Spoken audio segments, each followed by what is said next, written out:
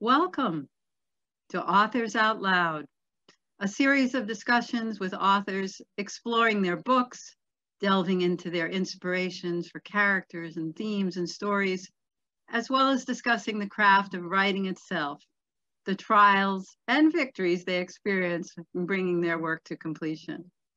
My name is Rosemary Cooper. I am the mm-hmm. director of the Albert Wisner Public Library in Warwick, New York, and my co-host is Susan Supak, the host of the Osher Lifelong Learning Institute's podcast at the University of North Texas in Denton.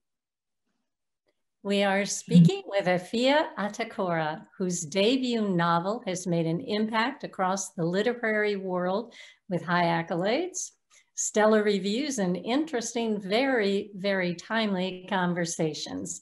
Afia's novel Conjure Women is an engrossing story that sweeps across the time periods just before, during, and after the Civil War. Welcome, Afia.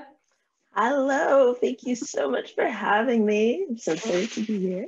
we are delighted to have you here. You weave a very interesting tale about a mother and daughter who are the healers of their community and also conjurers of hoodoo, magic to help or to curse.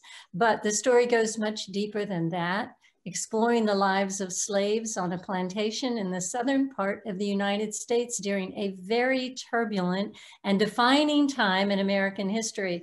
What prompted you to write this novel? Did you have a specific message to tell? Actually, I think me, I wrote the book for myself. Um, I when I sort of began the research, it wasn't to write a novel. It was out of my own curiosity.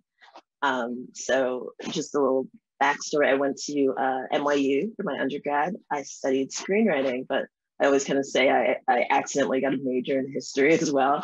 Um, because I just I tried to take as many history courses as I could just to for one, I think history is stories, right? So I got to sit in class and hear these stories, but also um, just as a Black woman, as a as a young person, I wanted to sort of um, be able to locate myself in history and also understand um, sort of the, the cursory overview that I felt that I had had in this time period, in the Civil War and slavery. I think we have these kind of overarching images um, that we're all used to seeing. And I really wanted to delve into that and see, okay, who are these people um, in this time period? What were their lives really like outside of the sort of bullet points? Um, so it began just just out of my own curiosity and just wanting to immerse myself in the time period. And then when it came time to sort of write, I had this um, I had this Reconstruction era is sort of the main um, 10 year period that the book is structured around. And I knew I wanted to sort of delve into that time period. Um, so again, it, it just became sort of a an exploratory experience for me. Mm-hmm. So Afia, you talk about how you immersed yourself into the time period because clearly you didn't live through the Civil War. Um, but so you read all that you could on the topic. Um, and did you find that was particularly informative in the process. I mean, that you needed to really do quite a bit of research um, on it before you could even fashion a story of characters and, uh, and themes uh, as you did in the book. Yeah, as I said, I think I had sort of an overview. Um, but to really be able to write the characters, I wanted to have that sort of first person perspective, that close um, sort of inside perspective of, of what it was like to live during a time. And I think during a, an important historic period, and I think we're seeing now as well um, in our own times that you sometimes are part of history, but you, you still have your ordinary life, right? You yeah. still have these, these daily um, grinds that are that are your main focus, that are mm-hmm. outside of sort of the literary or historic time period that you find yourself living in um, from an outsider's perspective. And so i really wanted to focus on these these characters and these people um, who don't realize they're living in extraordinary times or if they do are concerned more with their ordinary lives than, than they ever can be about the sort of bullet point in history that they're they're stuck in. Yeah so you're your whole um, immersion really put you into a world where you then could imagine these individual characters who might not have the same perspective that you as the writer had brought in uh, you brought in a way of tying it all together. I think I think that's that is such such a big part of what makes the book so so very enjoyable. Thank you. Mm-hmm. Definitely. I was not aware of the WPA slave narrative collection until I learned that they were some of the resources that you used for your book. Those are interviews for our viewers. They're interviews conducted with ex-slaves from 1936 to 1938. And it is so good to have these oral histories to capture these invaluable first person accounts. I'm just blown away that they had the foresight to do those at that time. And it's so good that these oral histories were done to capture this. And I understand it's the largest body of slave memories to be found anywhere. I would strongly encourage our viewers to explore the narratives. They're available online at the Library of Congress, very easy to access, and there are pictures also. Did you read stories from particular states, and how did you use these memories in crafting your novel? And another question, were there other resources that you used? Yeah, so the WPA is great resource. Again, it's in, it's in the public record, so anyone can access it very easily. And that was absolutely a jumping point for me. Um, yeah, they so it was uh, collected during the um, Great Depression as sort of an, an arts project, um, a job creation project for a lot of anthropologists and, and, young artists. And so they hold these interviews with sort of um, these ex-slaves who are at this point in their 70s and 80s and in the 1930s. Um, so it's such a rich resource and it's also a resource of, of memory, right? So it's not, it's an anthropological project, but it, it also is about um, memory and about the way you sort of view your childhood or your experiences, right? And so I felt like that um, that level of, of remove and sort of a composite experience um, was what I wanted to create wanted to create in the book. Um, and so in terms of was there one particular state or area, I really wanted to um, sort of mimic the WPA interviews in that respect and have them be a, a composite of memory and a composite of all these different states. Um, so I, I, very much tried to draw from, say, Florida and Georgia in, in creating my sort of imaginary South. Um, and then once I sort of had that as, as a point of entry, I again tried to look into sort of diaries, um, news articles, again, any first person close narratives um, of people's experiences and just their day to day memories. Mm-hmm. So, you know, Afia, I'm sure we have a lot of people who, who love to write too and are sort of envious of you. And, and the very first novel, just hitting it right out of the ballpark. Um, you know, could you talk a little bit to them about your process for writing, uh, how you actually go about writing maybe this particular book? You're probably working on something else right now. How long it mm-hmm. took you to write it and how you went about doing that? Yeah, so I, I always knew I wanted to be a writer. Um, I've always loved stories. Um, and so I, I, I, worked in the library before before this, and that was sort of my my career. And then I turned to um, I went to get my MFA at Columbia University, which was just sort of a for me it was a path forward. It was a way to immerse myself in um, writing in the writing community and make connections. Mm-hmm. And so uh, from a practical standpoint, I definitely wanted to have sort of a coursework um, to focus myself. So that was a decision that I made. Um, and then as for that, I, I, there was a requirement of a thesis of I think it was 150 words or 150 pages. Sorry. Mm-hmm. Um, to sort of complete the coursework and and that's from where this book was born I I was at the very end of sort of my time period of doing that, and I was like, okay, I need to come up with something, and I sort of came up with this midwife character in this Reconstruction era past. And from there, it sort of flowed. I, I, I didn't know what I wanted to say. I didn't know what the stories were going to be, but I knew I had sort of these anecdotal um, experiences that I wanted this midwife to have. And so for me, it was just what what interested me the most about these characters what parts of their history did i want to explore and once i had that um, which took me about nine months i always say it's perfect for for yeah. a book about babies. mm-hmm. and you gave uh, birth to your own. I gave birth to my own while, and then and then there was a sort of like raising up period, right? I had to sort right. of, um, and that took about two years. I had an agent and an editor, and we sort of worked together to look at these sort of disparate um, short stories that I had kind of. I framed it as a novel, but it was also sort of a, a connected short story mm-hmm. um, experience at that time, and so the work then was really sort of putting them putting the stories in different conversation with each other, putting them in different order, and and seeing what kind of fell out, what what rose to the surface. Mm-hmm. Mm-hmm. So, out of your experience in writing this novel, were there any insights or surprises that have stayed with you? I think that one in particular, the the the idea that there are so many ways you can tell a story, um, that just the order of events tells a different a different story. Um, it was a lot of work. Mm-hmm. um, it took a lot of time, but but I think it came out beautifully. And then I think sort of the um, the way you sort of get involved. I think I put a lot of myself in the novel that I wasn't expecting to see in the characters.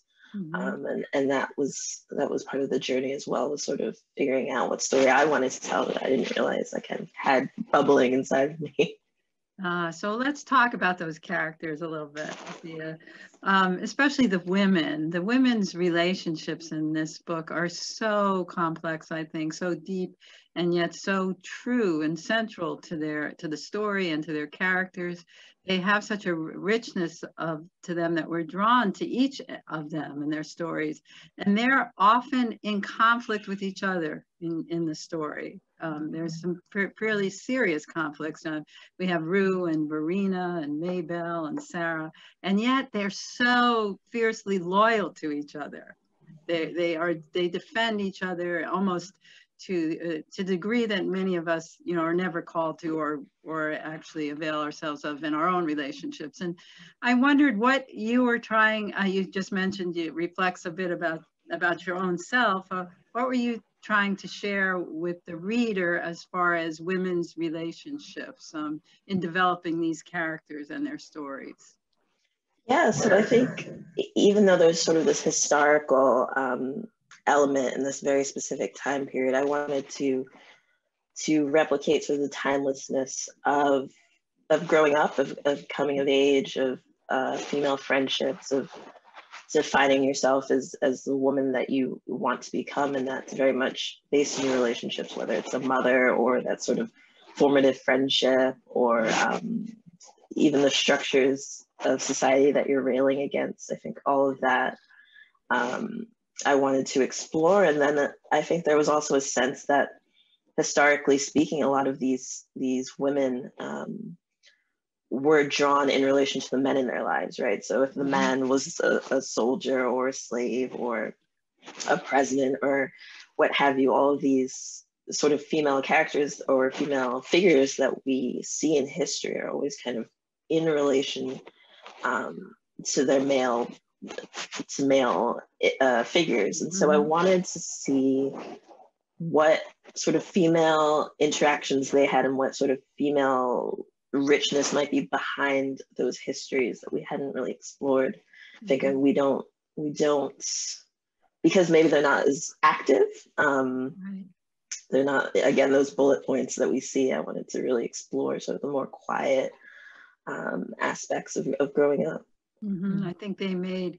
I mean, it was what made this story so authentic is that those relationships as as in conflict or contentious they may have been over certain issues. They were they were there together in each other's lives the way people really are in each other's lives um, and, and, not always you know in a total agreement and blissful uh, uh, uh you know just blissful harmony and right. each other. So i really really think that that's an outstanding part of the book that i'm sure others will enjoy as well.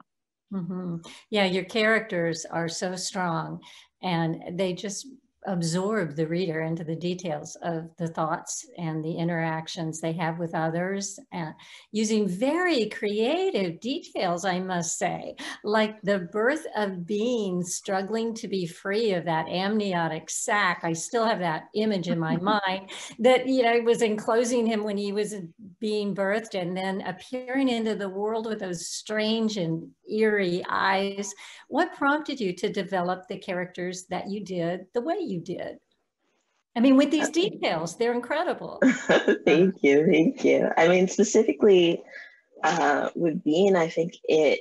I drew from sort of horror fiction, definitely. Sort of the the idea of the accursed child and the black eyes, um, and then with Rue as a midwife, the idea of um, sort of the magical woman or the witch in the woods and, and what would her childhood look like. Um, the same with Miss Maybelle. Um, there's a preacher. Uh, so sort of all these figures, um, sort of these uh, these archetypes that we see in, in books and especially in this sort of genre of, of historical fiction, slave fiction.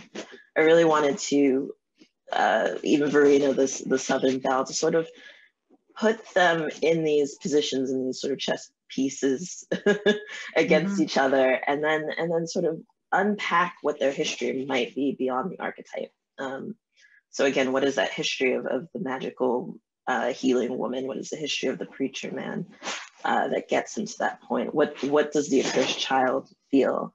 Um, so all of those things were sort of um, reverse engineered almost uh, unpacked mm-hmm. um, and that for me was just a fascinating process and the part i think i enjoyed the most was sort of creating these characters and taking them to these sort of logical extensions of, of who they are Oh, you know, that makes so much sense as, as we're reading. And I have to admit to you, Afia, that your book is probably one of the few books that I read three times. I read it three times, and each time was even more absorbed and felt that I, I just got into the story. So that I think is a, a testament to you know the depth of the creation of the art. Yeah. Really, well, you're my dream reader now. I but can't I do. do. that with many books, but three times uh, indeed. So, um, and this is now we're coming to probably the, our favorite part of our interviews, which is where you will read and share with us a part of this wonderful book that you've written. Certainly. So tell us a bit also why, you know, you'll read us a portion and maybe share with us a little bit about why you chose to share that one. Yeah, so I have, my arc. It's a little different actually, which is, oh, okay. Um, it's an earlier version, uh, so it might be a little different. But um, yeah, I wanted to share this section. So this section is actually from quite late in the book. It's about uh, 376. Again, my edition might be a bit different. Um, but it's sort of late in the book, but no spoilers. Um, okay. But it's also, I think, for me, um, playing with voice was another part of, of the book that I really enjoyed. Was sort of creating these characters, as I said, and then playing with their voices, so we get a little bit of um, an insight into each of them uh, as the sort of as the narrative weaves. Um, and so this one is sort of an outlier, um, but I think it's so the, the title of the section is in the beginning. Um, and it sort of uh, it goes back to it's about the middle passage um, of of a slave coming to the United States, um, and sort of those hazy memories. And I think it sort of embodies these different characters, and again that again that composite of memory and that sort of um, of trying to define yourself and your relationships in in history and and within your ordinary life and so this is in the beginning um, i will share that in the beginning there was the ship hold the early swirling motion of the sea sickening the heat of fever the heat of fear the only thing cold the new chains and even those warmed quick and rusted over with rubbing with sores with blood, with futile struggle. The darkness, the void of the black ship bottom, the darkness on the face of the deep. And then someone said unto them, Let there be light, piercing light. Did you know light could hurt so bad? On the deck above, they were made to dance under that brightness. So much light, the light of the heavens, and also the light of the heavens reflected on the sea. And the few black bodies that got somehow free of the dance went jumping into that sea, blind, perhaps confusing the sea they'd never seen before for heaven, God's face in the waters. Waste that, false prophets. The rest of them were sent back to the dark void till the ship reached firmament. She had no words for them. They hadn't given them to her yet. But if she fought back and tried to give words to the memories of the ship and after, there was the one that had rung out when they'd stood her up before the curious white faces and made her hold out her arms and then hold open her mouth and then hold open her legs. Sold. And what was a mama, the warm body that you made in a time and a place and a land you couldn't remember? Or was a mama what you made for yourself, the good warm body, the first kind memory of the older woman who slept beside you in the hayloft, who let you fold into her warmth that first evening that you were owned? And she hummed to you because she couldn't speak what you spoke.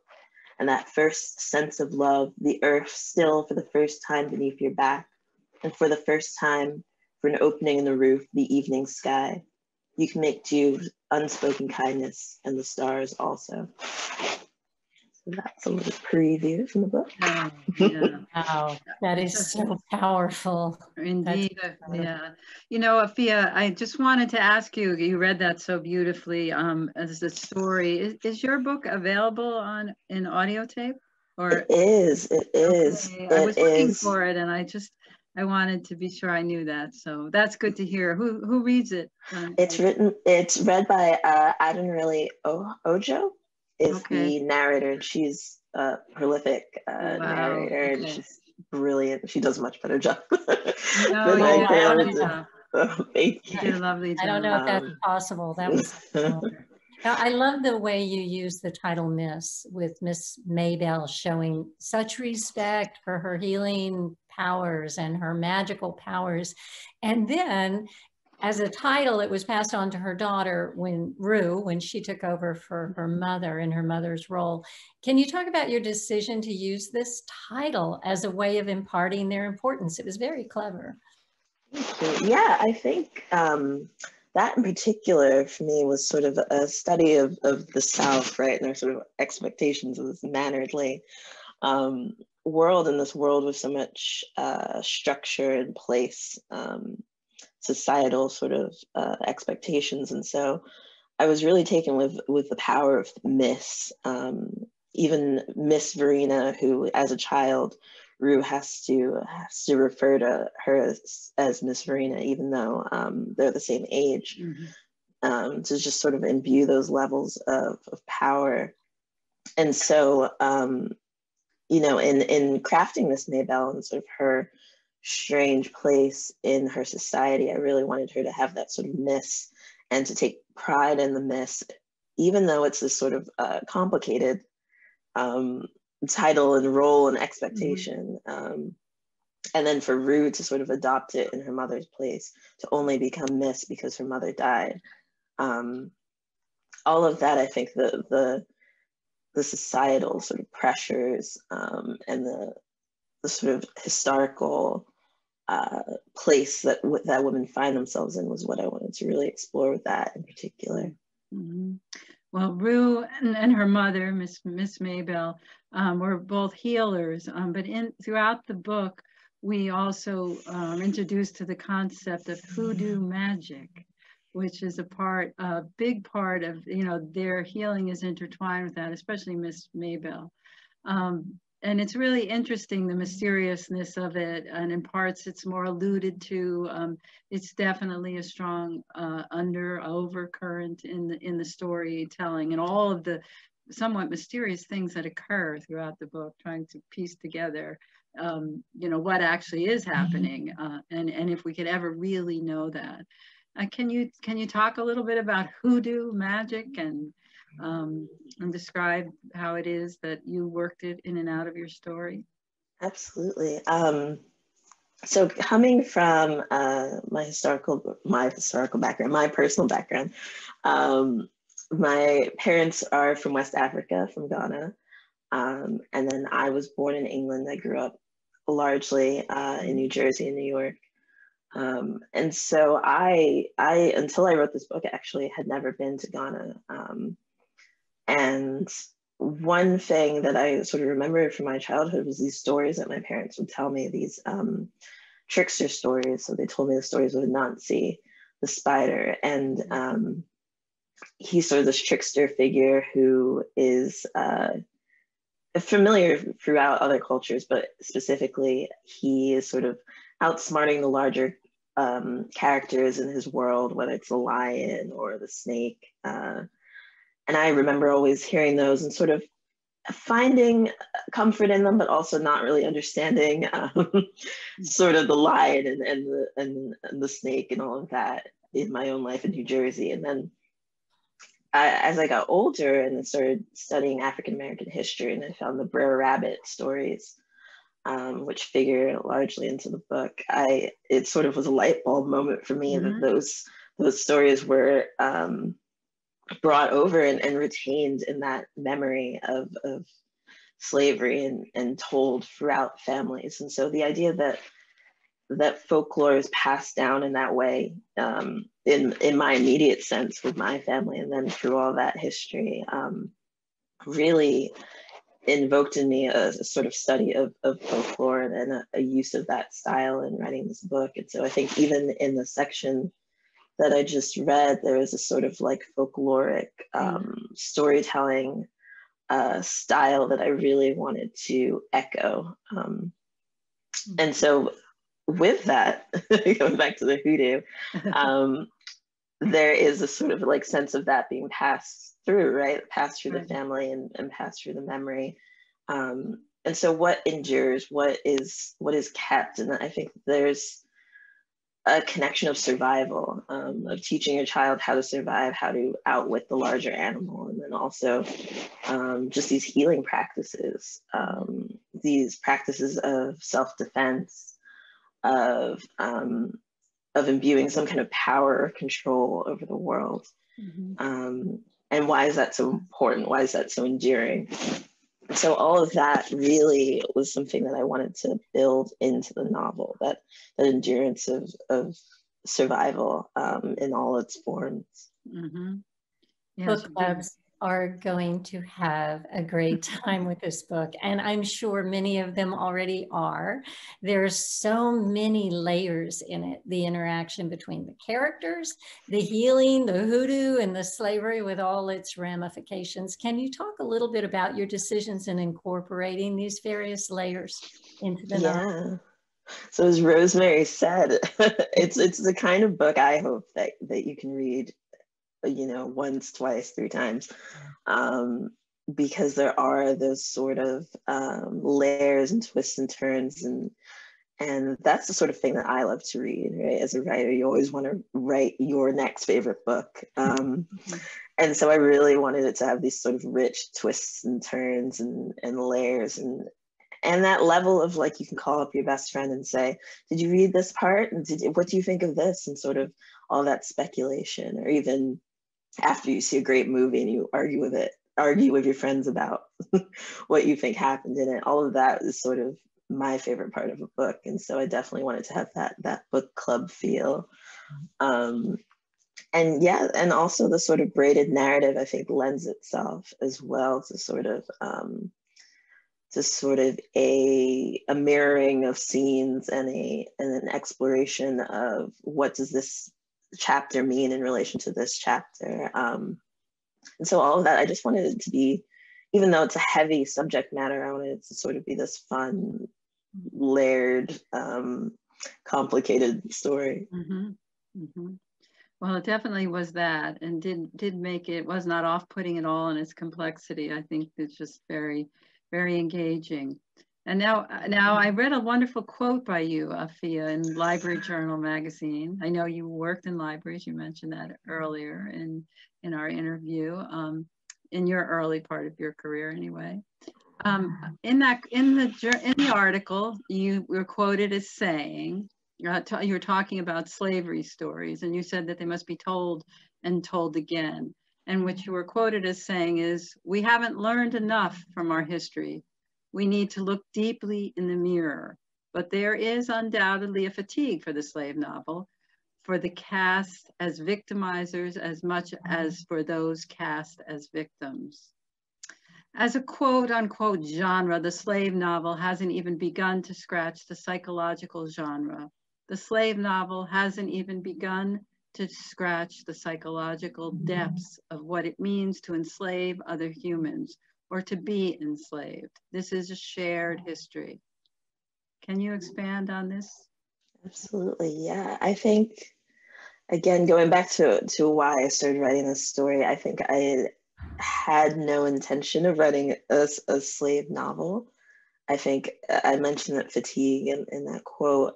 And I think there is a sense of not wanting to look at such a such a complex, ugly history. Um, again, right? It feels like we have um, roots, we have beloved, and it, it almost feels like, okay, uh, do we want to dive into such a a complicated past. Um, but as a as a writer, I thought, okay, we have those images, we have those stories, beautifully done. Um, Toni Morrison is one of my favorite writers. Um, I'm sure that's apparent.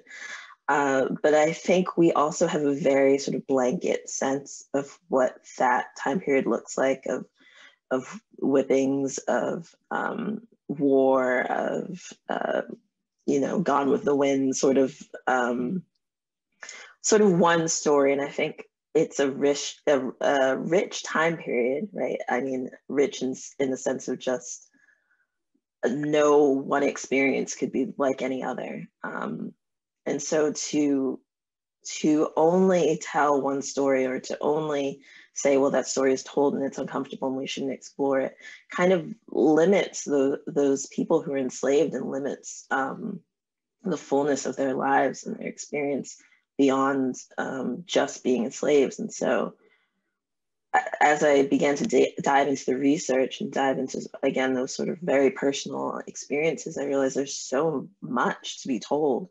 And there's so many um, angles to look at the story from. And there's also so much for us to learn from from um, things that are uncomfortable or things that are, are ugly or um, complex. How did this happen?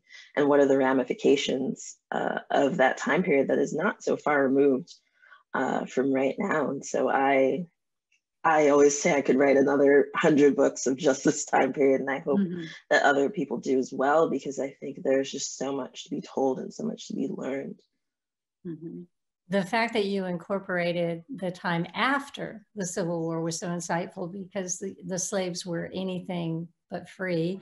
Of course, they were held back by Jim Crow laws, among other demoralizing factors, and it must have been a very confusing, turbulent time for the freed slaves when the war ended. And I, I is what you're saying also incorporating that period of time. I, I know I've read much about the before period, but I really got a lot out of the book in looking at the period of time after the Civil War and what it felt like to the people in those slave communities. Was that part of that decision that you're talking about in, in showing the different aspects of it? Absolutely, yeah. As I said, I think I had an overview of this time period. I thought, okay, the Civil War happened, the, slaves were freed, um, but what does that mean? Freed? What what resources did they have? What were they able to do? And and and what life can you make for yourself um, after such an uh, such a turbulent time and not just for the slaves i think. I also wanted to explore the south and its sort of um, its history and its um, struggles against itself um, and defining itself. And what do we see today that that is reflective of that time? And so i just again had questions. I wanted to know what does that look like? What do you do in when you're said when you're told that you're free? Um, what does that feel like? And so I really wanted to dive into that time. And again, I started with a, a 10 year period because I think the Reconstruction era, um, aside from being fascinatingly strict in, it, in its decade long um, definition, um, is also sort of a, a, time of flux that, that we don't get to talk about a lot. So I really wanted to, to place the book there and to sort of let it expand and unfold and, and see what directions it would take me in.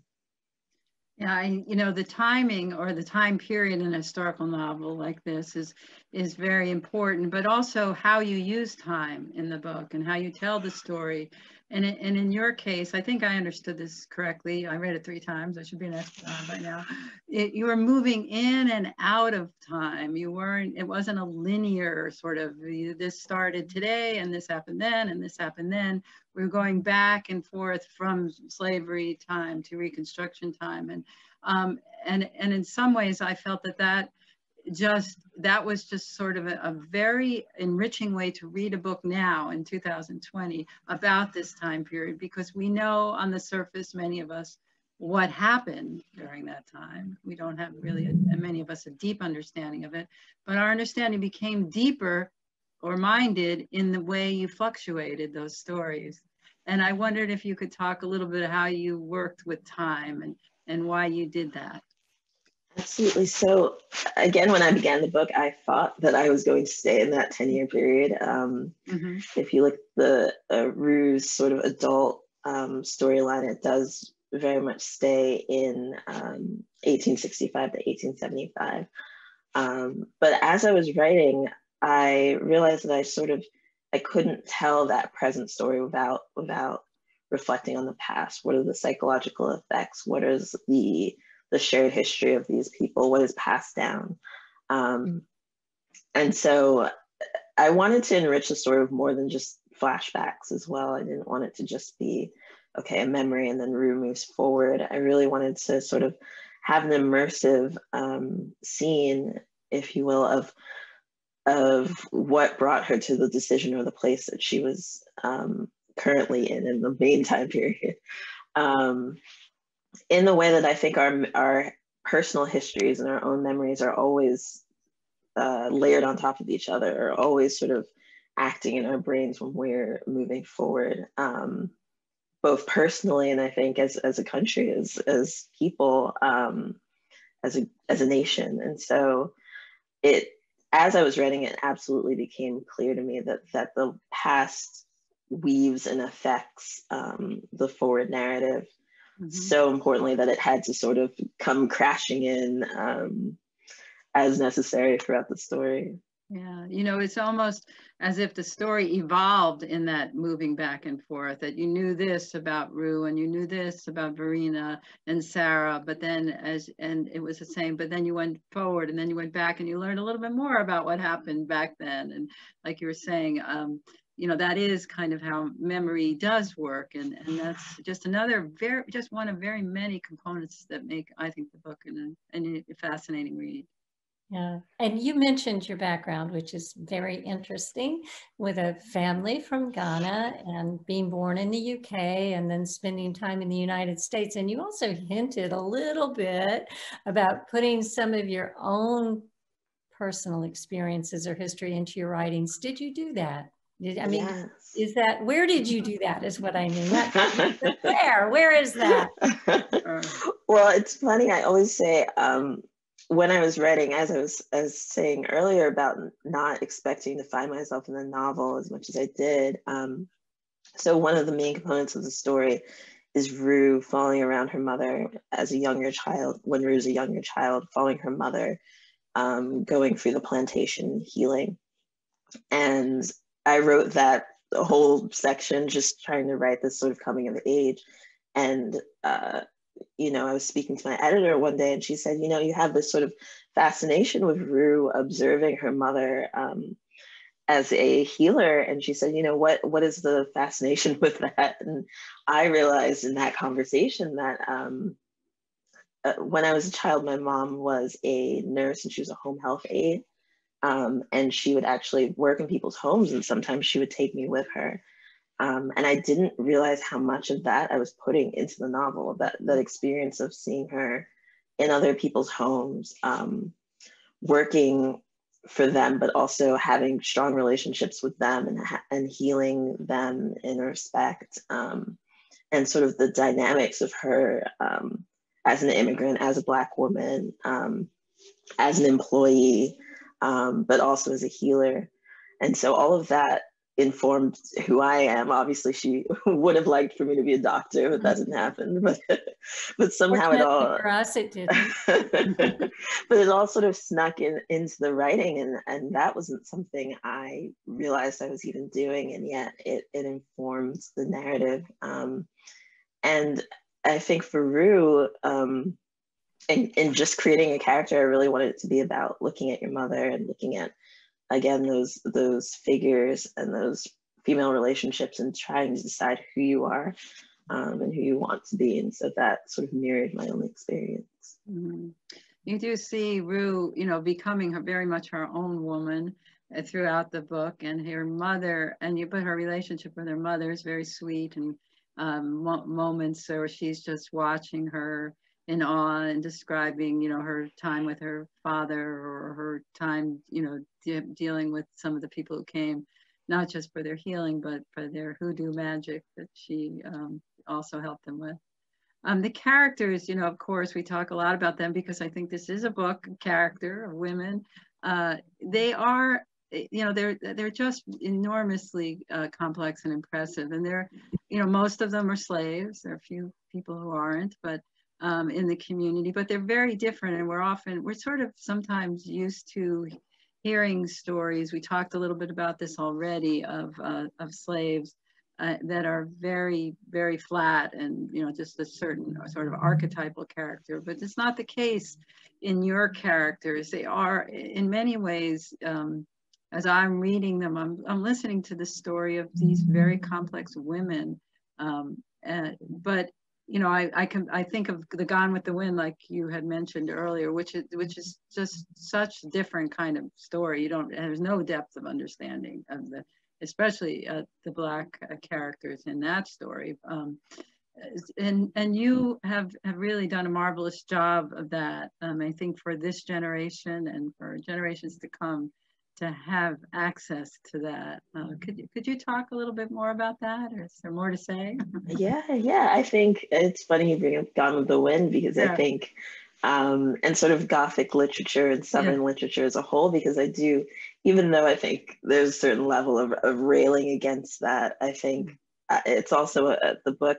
Yeah. My book for me is is a love story to those um, those sorts of uh, rich uh, Gothic literature, right? Mm-hmm. That sort of Southern um, romance of, of the Southern Belle. And even Varina, um, you know, as a character, is someone I wanted to give depth to as sort of the daughter of the South. And what does it mean to have expectations um, of what your life is going to be, whether those expectations are right or wrong, ethically mm-hmm. or or morally speaking, but she was raised in a, in a in a world and what does it mean to to lose that world? Um, to lose sort of the the the power or the sense of pride that you've been imbued with. Um, and so i wanted to to create those characters as well and really sort of um, without having clear villains or or, right and right or wrong really paint a clear picture of how do these people find themselves um, in these situations, how do they make choices and what are their choices um, based on? And so for me, it was definitely exploring all of those sort of images again that we're familiar with and and are drawn to, um, and why are we drawn to them? Mm-hmm. You know, we mentioned hoodoo, of course, the traditional African American spirituality that was actually created by the enslaved African Americans and then we also briefly mentioned the traveling preacher and you you described his effect on the community. And I guess I have a couple of questions in here. Did you research aspects of hoodoo and evangelical religion as you wrote this story? And I'd love to hear you talk a little bit about how you see that interplay between those two aspects of spirituality. Yeah. Uh, so as for hoodoo and voodoo and Santeria and all these sorts of um, these practices that uh, you know uh, evolved in isolation, but also have these clear connections with each other.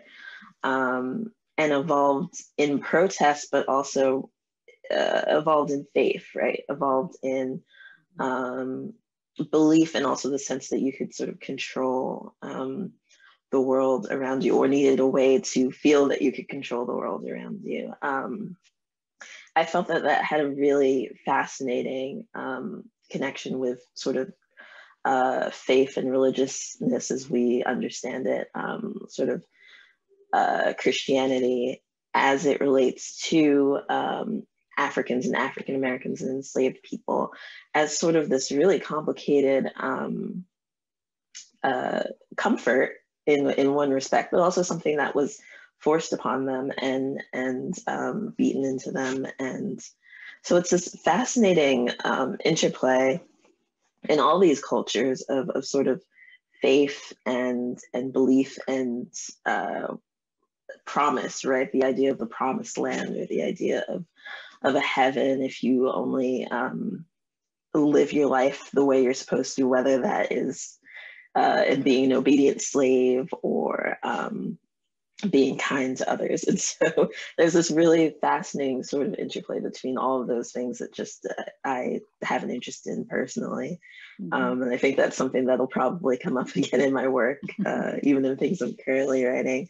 But just in this historical standpoint, in this time period, I think um, for enslaved people who were freed, it was a moment when they got to choose. Um, what did they believe in? And of course, the, the, the, culture that you're raised in is going to shape um, what you eventually sort of believe in. Um, but in this time period, there were these sort of revival tents, there were these um, sort of interplays of uh, Christianity and magic and, and sort of keeping that cultural memory of um, Africa or West Africa or things that even I remember growing up with, um, sort of practices that my parents had. Mm-hmm. Um, keeping those things alive while also um, sort of respecting and um, and performing within within the social context that you find yourself living in. Mm-hmm. Um, and so for me, the preacher, especially uh, Bruh Abel, was this figure who came in and sort of gave the slaves or the recently freed people um, a choice, and Rue symbolizes sort of the other choice, and so they're they're definitely going to have this um, this clash mm-hmm. of personality and faith, and and what which way do you go forward? And so I definitely wanted to place them uh, Rue and Bruh Abel as these two pillars um, in conversation with each other of, of what do you choose and what do you believe and, and have them sort of fight with each other, which historically I think those those the idea of magic and, and religion sort of do find themselves fighting with each other and also folk healing and sort of institutionalized medicine fighting against each other. And so all of that sort of plays out in the novel again in this 10 year period. Mm-hmm. So you you um, we'll talk a little bit about you as a writer and your experience. You've already shared that you went to NYU, I think it was, and and then got an MFA at Columbia University.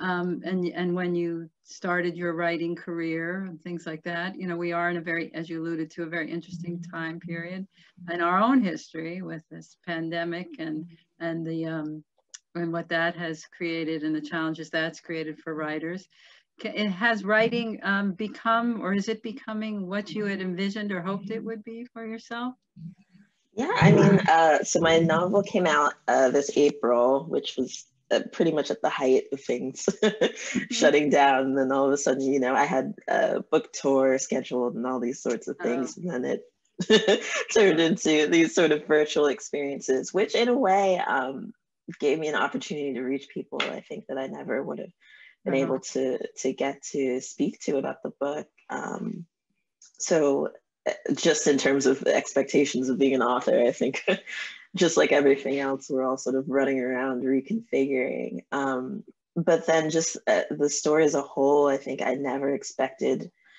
Conjure Women and the story of a, a strange illness and all this sort of um, racial complexity in American history to all sort of lands right. right now in this time period. I didn't expect a book about uh, sickness to be out during a mm-hmm. pandemic. Um, so all of that sort of been a strange experience. And then again, I sort of uh, mentioned earlier the the concept of sort of living in an extraordinary time, but being ordinary. Um, right. And all of that is sort of happening. I, I think we're living in a time that is going to be uh, in history books with bullet points and, and hopefully someone will will come back and, and write our, our little lives a little bit in there and, and give um, give a face to the smaller characters. And so mm-hmm.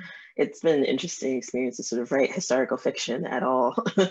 Mm-hmm. um, during this we, time. Yeah. Our, you know, that we talked about the the slave narratives, you know, from the WPA, and and you may know that, of course, there's efforts libraries throughout the country to gather the stories of people during this pandemic for very much the same reason. Um, and we uh, we have also, the previous author we interviewed, Jim DeFelice, talked about how he used the stories of veterans and the Library of Congress has a, has a program called the Veterans History Project. So you just see that there are these opportunities that when we're um, living in them, we don't necessarily take advantage of them, but we now all have you know, an opportunity to contribute to that narr- to the mm-hmm. narrative of explaining and talking about what we're experiencing today. And I think your book, as well as Jim's, is an inspiration to do mm-hmm. just that. You know, to explore how to. We, we might not write as beautifully as either of you do, but we have stories to tell, right? And we can Absolutely. we can put them to paper, and then hopefully people like you and Jim and other gifted writers will take them and create these these beautiful stories that go much further, you know, to, than just our own single story, but tell a whole community story and a and a whole experience of that. So, so I'm glad that it was that you're feeling, you know, uh, uplifted by it and encouraged by the response that folks have had to your work. Definitely, it's finding people, which is which is an amazing experience, yeah. and then I get to speak to them, which yeah, is so which is so exciting. It's exciting. So for the viewers and that are watching that are writers, what would you say to them if, to become better writers like you with this terrific debut novel? So what would you tell them? How would they how would they best become better writers? Yeah, I think I, I always got the advice to read. Um, so I will say read, read widely, but I also always say um, read critically. Um, if you love something, figure out why you love it. Why does it have that effect on you? If you hate it, why do you hate it? Um, and then also, I always say, sort of, um, look at other aspects. I know I love film and television and sort of that sort of storytelling. Um, or even uh, my mother i always say she's definitely not a writer but she's like the best storyteller i know. She'll tell you like what happened to her at work and it'll just be framed in this perfect way and i feel like that is is a place that i reflect on okay what about her her joke or her story like affected me and um, just the way it's formed or, or told and so i think there's even stand-up comedy i was telling someone the other day i think just the delivery of that sort of thing there's a way to sort of um, study storytelling and all these aspects of your life and so i think mm-hmm. uh, uh, take everything in critically mm-hmm. and, and respond to it and then sit down and, and get to writing yeah you know i think i think another important part which you engage in so well is of course talking about it um, talking about writing and reading with others. So um, we often talk about that in the world of libraries, how what's important to create readers and young readers, any age reader, is to create this sort of community of then sharing what that experience was like for you. You know, like you said, what did you love? What did you hate? And some of us don't always put that to pen and paper or write an essay about it, but we do have that opportunity like we are now uh, to, to, to, just talk to each other about it, to share it. There's so, many book clubs and book groups, but you don't have to have a formal experience. It, it's just, you know, what did you like about it? What didn't you like about it? And uh, it really, uh, it goes a long way to making readers who will then, of course, go a long way to making writers um, like yourself. So uh, this book, the Conjure Conjure Women, uh, you know, if you had to sell it like in a elevator speech or something to convince people to read it, what would you say? Yeah, I mean, I think you guys have done a fantastic job of convincing people to read it. But yeah, I mean, I think Conjure Women is a story of um, shared history and uh, personal history. Um, it's a story of American history. It's uh, a story about ghosts um, and confronting um, who you are, confronting the things that haunt you um, to hopefully move forward. I think that's the sort of moral arc of the thing. Mm-hmm. Oh, I'm going to read it all over again now. I'll read it for the fourth time. I'll read it for the fourth time. hey, before you go, are there any new books on the horizon? She said, hopefully. Uh, yes, yes, yes. I am writing very fast and very furiously to meet some deadlines that I have with my editor um, at the moment. Uh, but so I love historical fiction. Obviously, I think that's very plain. Um, so right now I'm working on sort of a 1920s Harlem Renaissance jazz age uh, book that hopefully has some some similarities to to Conjure Women, but I also think it's sort of this more uh, fast-paced modern um, experience with cars and, and, jazz clubs, and so I'm having a lot of fun with that. And it seems to be forming into a bit of a murder mystery. Um, so we'll see how that shapes out. And then again, it sort of has um, weight in our current time and we're all talking about the Spanish flu and all these things. So I think there there's that uh, that modernism aspect as well. But yeah, I'm having fun just writing a jazz age mystery at the moment. Oh, lovely. Sounds good. We shouldn't keep her much longer than Rosemary, so she can.